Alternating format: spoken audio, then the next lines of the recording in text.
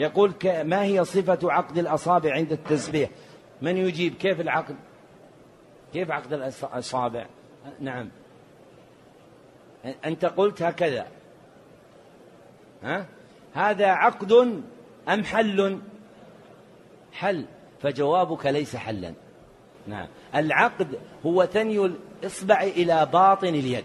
ثني الإصبع إلى باطن اليد. هذا يسمى عقدا. فتقول سبحان الله والحمد لله والله أكبر سبحان الله والحمد لله والله أكبر سبحان الله والحمد لله والله أكبر سبحان الله والحمد لله والله أكبر سبحان الله والحمد لله والله أكبر.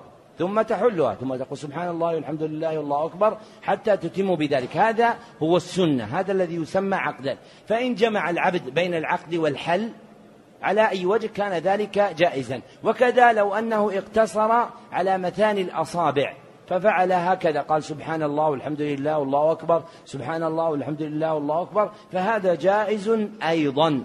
والمقصود أن السنة هو العقد برد الإصبع وتنيه إلى باطن الكف.